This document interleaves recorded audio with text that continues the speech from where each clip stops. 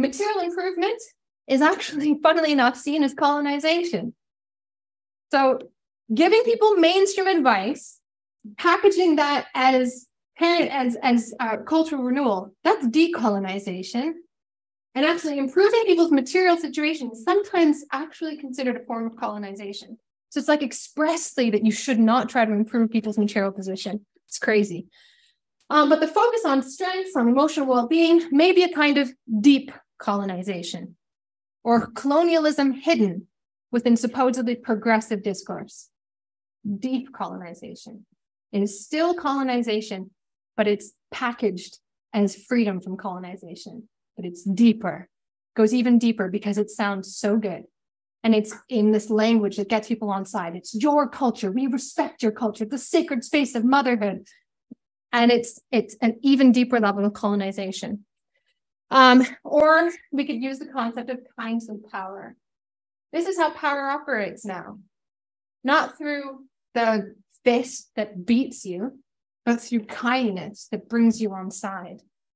Um, uh, kindly power is a form of power specific to the Chinese context, um, but it shares many commonalities with the way that therapeutic governance is enacted here through translating psychologized state goals into caring, culturally relevant language intended to bring you on side. And the rise of trauma narrative positions all Indigenous people as traumatized and ill by definition. Even the rise of a strengths based approach further entrenches the idea that well being is not something people just have. Something, it's something that must be inculcated from outside. And therefore, there's an invitation to even greater intervention into family life.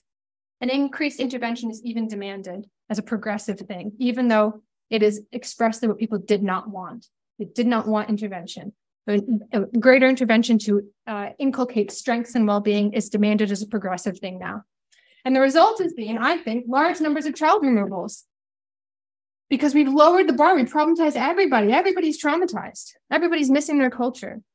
Um, and the continued deferral of economic questions and questions of self-determination to the mythic day when Indigenous people will be better enabled to enact an appropriate level of self-care.